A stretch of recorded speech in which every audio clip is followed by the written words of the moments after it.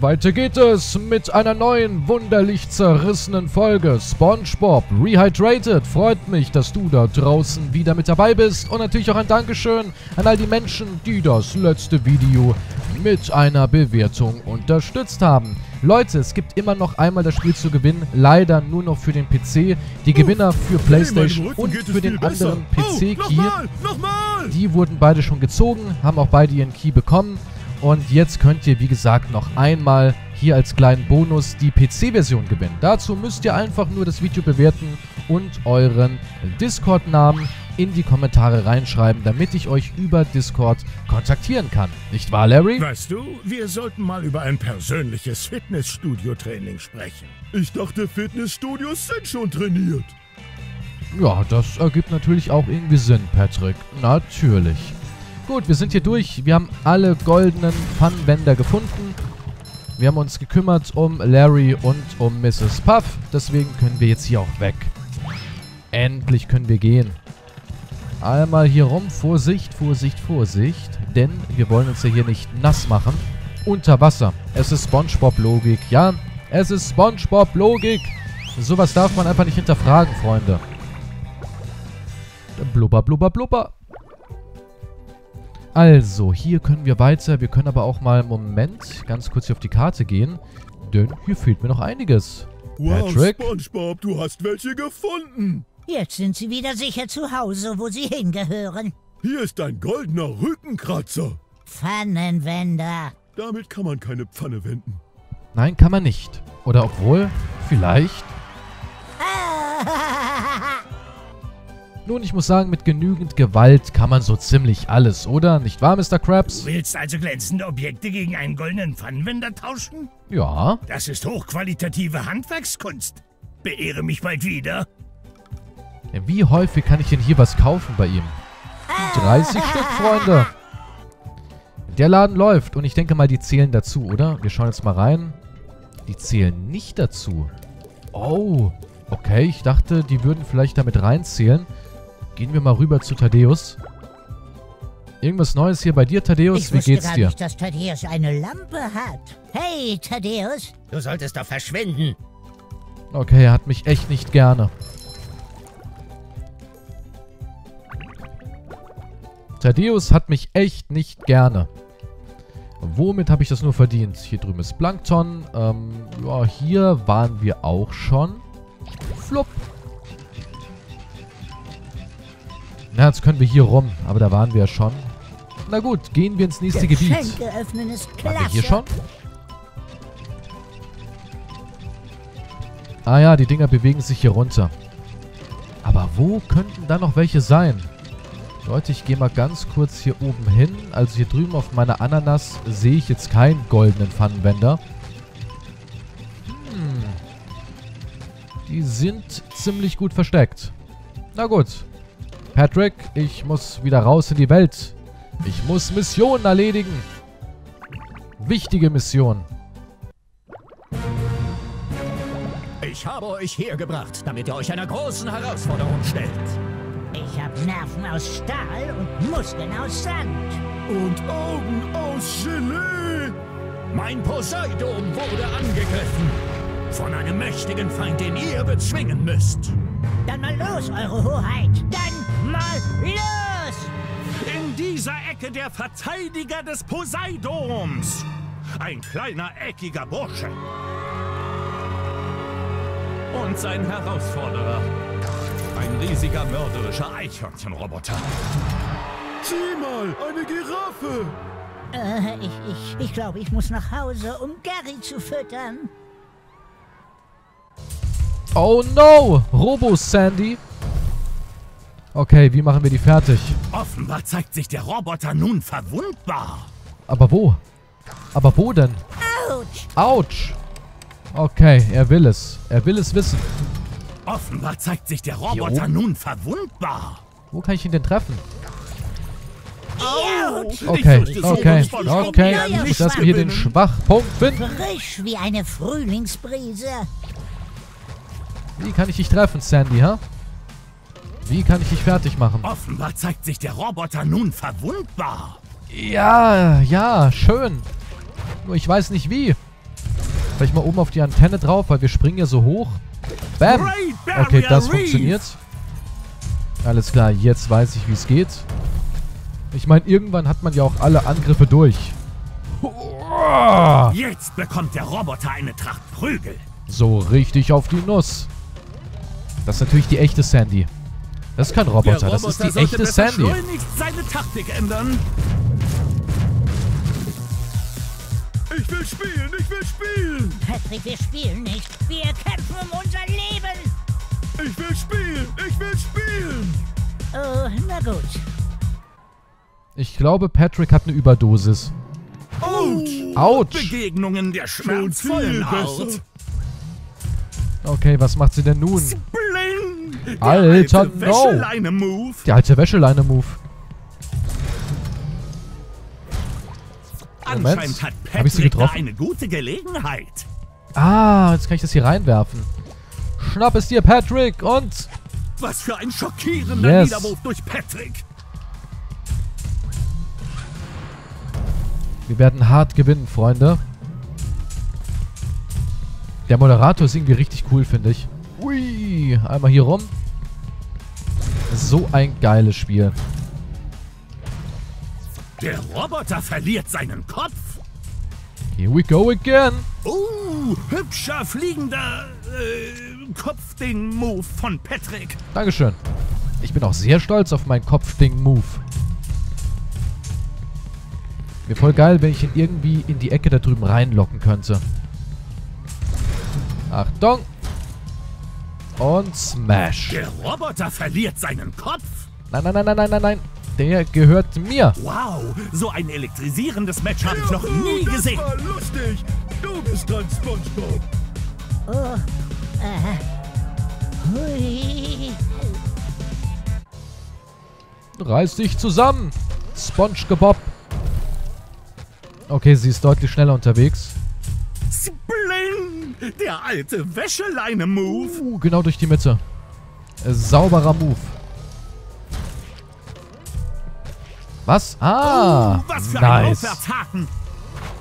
Uppercut Deluxe. Äh, sehr schwammig. Dieser Uppercut war sehr, sehr schwammig. Und da bin ich durch. Ganz easy, locker, souverän.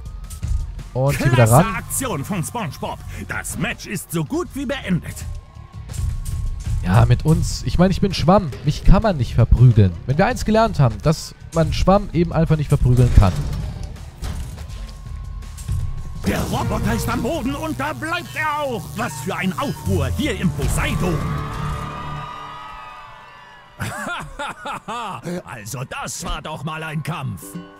Sag ihm, was er gewonnen hat, Johnny. Eine neue Kraft, das Blasenbowling. Doch warte, da ist noch mehr. Ein goldener Pfannenwender. Und das ist noch nicht alles. Ein Geschenkgutschein von Deans kleinem Laden für getrocknete Fischflocken und Blumen über 5 Dollar und 32 Cent. Oh, vielen Dank. Das bedeutet mir so viel. Ich, äh, ich, äh, ich habe mir vorgenommen, nicht zu weinen. Weine so viel du willst, aber nicht hier. Der Boden ist frisch gebonert. Ach, Neptun. Im Poseidon. Hey, Plankton. Ja, was gibt es?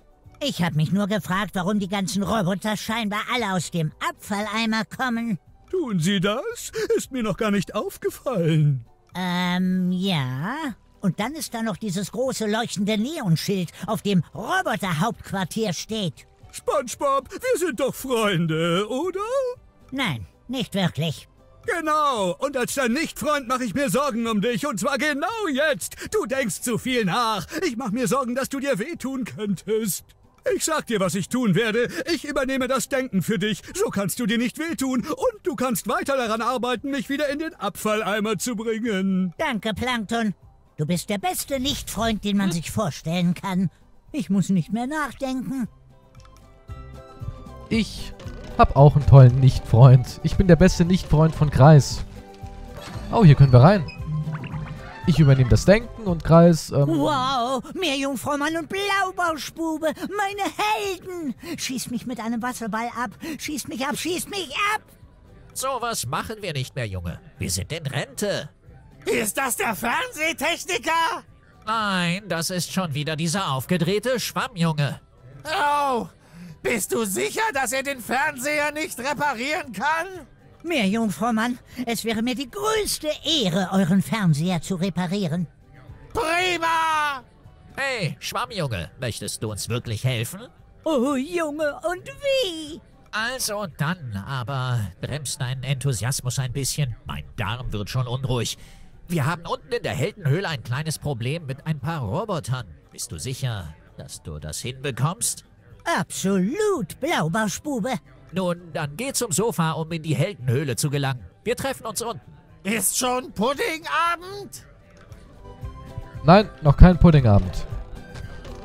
Ja, auch hier leider. Leider ist die Stimme von Blaubarschbube verstorben. Geschenke öffnen ist klasse. Das war ja, glaube ich, derselbe Synchronsprecher wie Thaddeus. Ich bin mir da gar nicht mehr genau sicher. Aber ich glaube, die hatten irgendwie... Der hat beide gesprochen. Bisschen abgewandelt.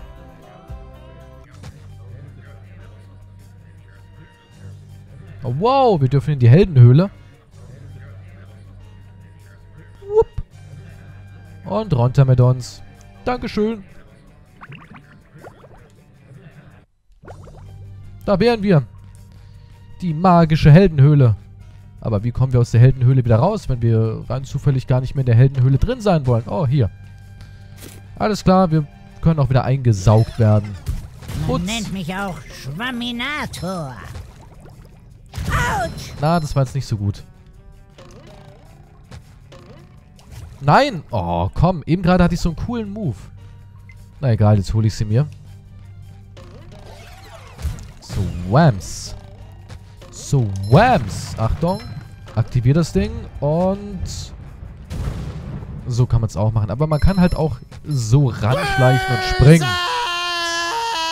Was? Meerjungfrau Mann und Blaubarschbube. Ah!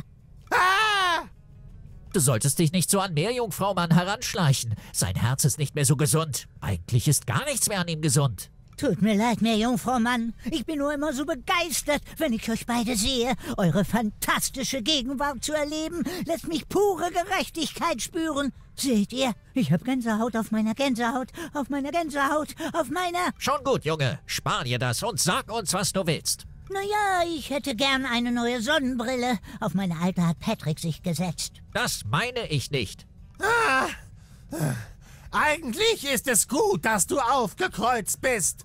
Du Schwamm der Güte. Ist es? Ist es?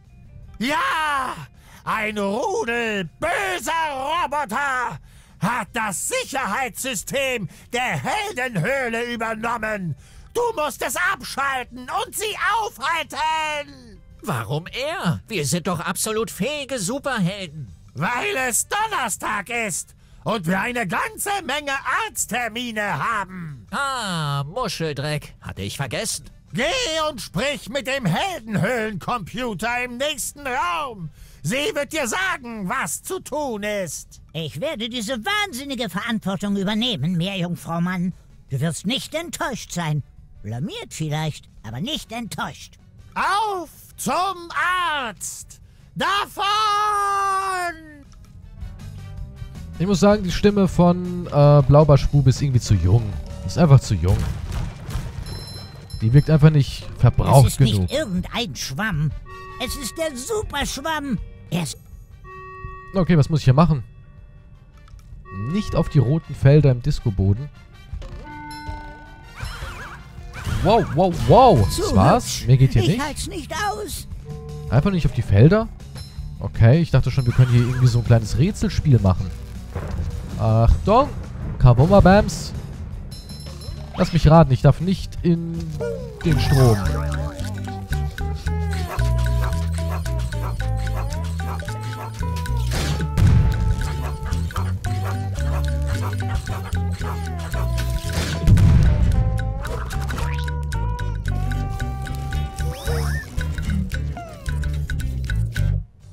Roboter hassen Schwämme. Kann das sein? Mach ihn fertig! Und er verpieselt sich. Der Dude ist mies unterwegs. Guck mal, wie panisch wir rennen. Ah! Vorsicht! Verzieh dich, Cowboy. Gegen uns hast du keine Chance. Ich bin ein Heldenschwamm. Zack, direkt erledigt. Oh, oh, oh, was machen wir denn hier? Ich glaube, hier brauchen wir so eine kleine Bombe. Oh, wartet mal, komme ich hier ran? Nein. Nun, ja, aber nein, aber ja. Kriege ich eine neue Bombe? Die Schaufelräder kannst du durch Blasenbowling in Bewegung setzen. Bowle gegen eine Seite dieser Schaufel, damit sie sich dreht. Okay. Wie bowle ich? Ah, Alle so. Neune! Warte, warte, warte. Ah. Ja, haha. Ich verstehe. Moment mal, wo ist denn jetzt hier der Haken hier drüben? Mal sehen, ob wir das hier überhaupt ganz rumbekommen. Achtung. Flups. Okay, das funktioniert nicht. Jetzt geht, geht's hier lang. So. Und jetzt bin ich hier. Ich werde natürlich hier den Haken noch mitnehmen. Nein, nein, nein, nein, nein, Vorsicht. Hier rum. We did it, boys and girls. We did it. Noch ein Pfund für Patrick! Schöne Bäckchen, Spongebob. Sehr schöne Bäckchen. So, und jetzt müssten wir eigentlich hier wieder hin.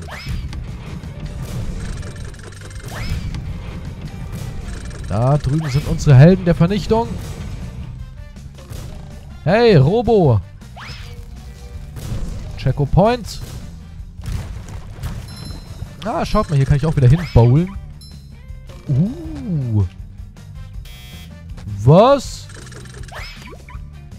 Was können wir damit machen? Gar nichts. Das unsichtbare Bootmobil wird ganz kurz sichtbar für uns.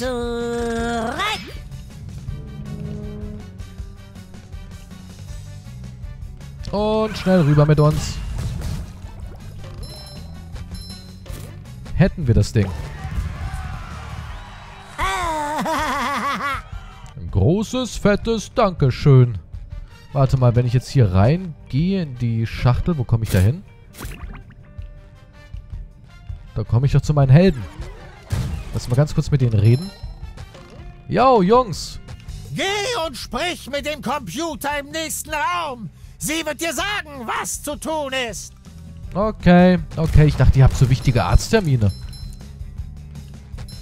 Ich dachte, heute wäre Donnerstag. Und Donnerstag ist irgendwie super mega wichtig. Alles gelogen. Wem kann man jetzt noch vertrauen, wenn nicht unseren Helden? Die Eldenhöhle. Geheime Festung der faltigen Superhelden, Meerjungfrau Mann und Blaubarschbube.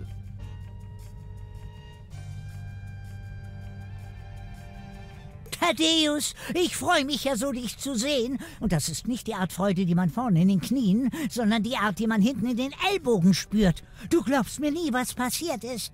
Ja, ja, das Rentnerduo hat es mir erzählt. Diese zwei alten Säcke haben mich schon reingeschickt, damit ich mir ihren Heldenhöhlencomputer ansehe. Aber da du jetzt hier bist, lass ich dich das machen. Er ist gleich da vorne. Sieh dich hier um. Ich meine also bitte. Würde es Sie umbringen, hier ein paar Teppiche auszulegen und dieser ganze vergeudete Platz? Wir haben diese zwei alten Heinis das hingekriegt. Ach, das ist einfach. In Folge 27 wurde die Heldenhöhle von den grabenden Bermuda-Monstern überfallen und die... Schon gut. Nerd. Thaddeus natürlich mal immer, wie man ihn kennt, mies gelaunt. Ah, geht doch nichts über den Geruch von Seifenblasen am Morgen. Das riecht nach... See. Okay, hier geht's irgendwie ein bisschen komisch ab und zu, ne? Lass dich nicht brutzeln. Warte mal, hier kann ich aber auch noch hin. Und hier kann ich jemand anderes spielen. Wen denn? Ah, cool.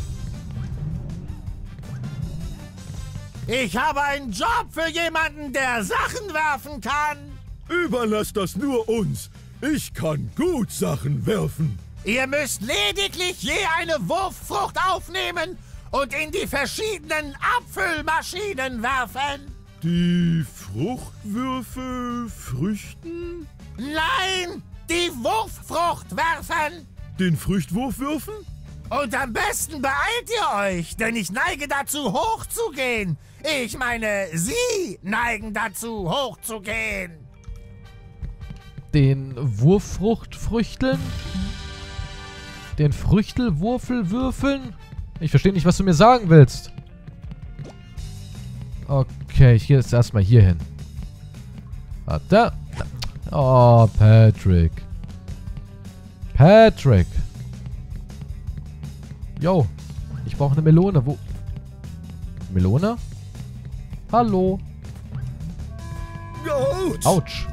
Autsch. Hey, was ist Okay, gerade wenigstens habe ich jetzt eine neue Melone. Ganz merkwürdig. Und Kabimas. Hey, dich kenne ich doch. Du bist doch dieser Typ. Wir werden viel mehr Energie brauchen, um den hydroakustischen Dopplermodulator zu aktivieren. Kriegst du das hin? Ich kann von hier oben Thaddeus Haus sehen. Und der hat gar keine Hose an. Halt, er trägt ja nie Hosen. Jetzt hör zu. Dort sind acht Zylinder. Wenn du etwas gegen einen Zylinder wirfst, dreht er sich zur Stromseite um. Hast du alle acht Zylinder zur Stromseite gedreht, gebe ich dir eine Belohnung. Äh, Entschuldigung, wie war das? Ich habe Thaddeus beobachtet. Fang einfach an, diese Zylinder umzudrehen. Tja, Patrick. Man kann nicht erwarten, dass er dir irgendwie zuhört. So, warte mal hier. Moment, wo müssen die hin? Zur Stromseite. Warte mal, hier kann ich noch irgendwas machen? Ach, hier werden alle zurückgesetzt. Ich verstehe.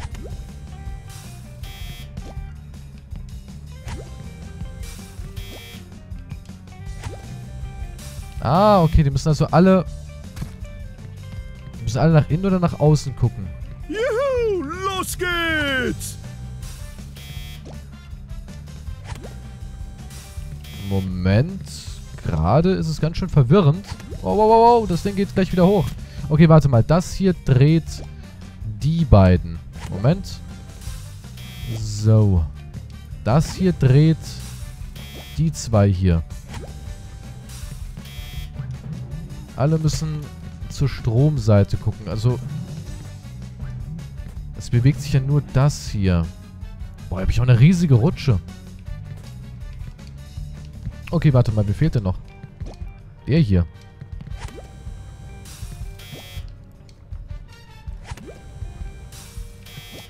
Und jetzt nochmal hier hin. So. Jetzt fehlen die hier. Machen wir mal so. Da dreht sich wieder der. Moment. Schmeiß mal dahin. Achtung. Kablams.